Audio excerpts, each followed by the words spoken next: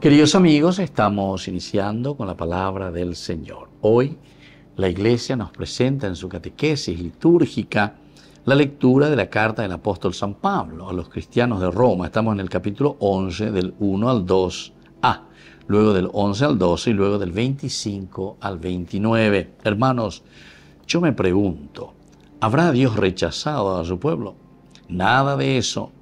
Yo mismo soy israelita, descendiente de Abraham y miembro de la tribu de Benjamín.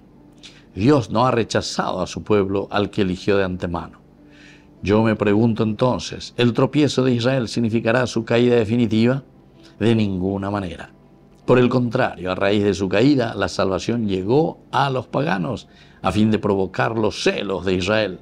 Ahora bien, si su caída enriqueció al mundo y su disminución a los paganos, ¿qué no conseguirá su conversión total?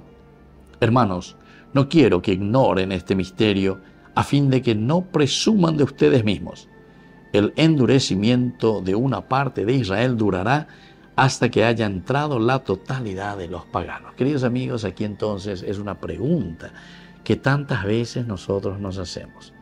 Va el oicota de Israel hizo, que el Señor que viene se revela, se encarna, entra en nuestra historia Pablo lo único que está haciendo es una reflexión profunda desde el Antiguo Testamento. A ellos Dios les ha ofrecido la revelación y la misma encarnación que se realiza en la humanidad a través de Jesús de Nazaret. Pero ahora entonces viene la pregunta y ellos lo han rechazado. Y esto ya es perdición para ellos. Pablo siempre afirma de una manera muy positiva diciendo que nada es negativo, sino que Dios está escribiendo derecho en renglones de nuestra historia y de la historia de Israel que son torcidas. Y al final nos está diciendo ya, dando la esperanza, dice, esto durará hasta que haya entrado la totalidad de los paganos.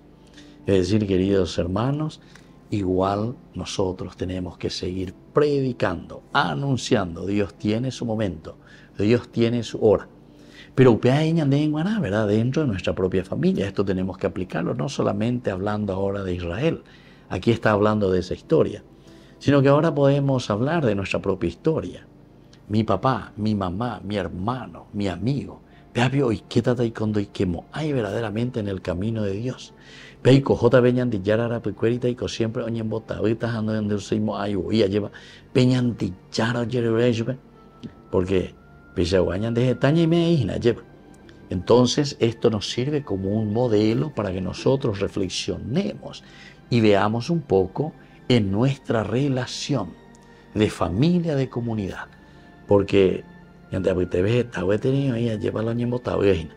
nos enducéis nos echacéis, de para hacer un buen camino.